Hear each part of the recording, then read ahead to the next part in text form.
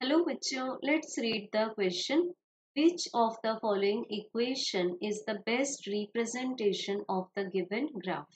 तो बच्चों given है हमें एक ग्राफ और दिए हुए चार equations. तो हमें चेक करना है कि कौन सा इक्वेशन गिवन ग्राफ को सेटिस्फाई करता है इसके लिए फ़र्स्ट ऑप्शन चूज़ करते हैं y equals to two by x अब जब हम पुट करेंगे x इक्वल्स टू ज़ीरो तो ये रिप्रेजेंट करेगा हमारे पास y एक्सेस को तो अगर x equals to zero put करते हैं तो गिवन इक्वेशन से हमें मिल जाता है y tends to infinite but यहाँ पर y में पर्टिकुलर पॉइंट पर कट हो रहा है graph so a is not the correct answer second में जब हम चेक करते हैं तो e to the power minus x equals to y ये एक निगेटिव एक्सपोनेंशियल सीरीज़ को इंडिकेट करता है बच्चों. तो यहाँ पर हम बोल सकते हैं कि as we put x equals to zero तो हमें y की वैल्यू क्या मिल जाएगी? यहाँ x की वैल्यू जब ज़ीरो पुट करेंगे तो y इक्वल्स टू मिलेगा e to the power minus zero it means this is equals to e to the power minus zero means हम इसको क्या लिख सकते हैं? One by e to the power zero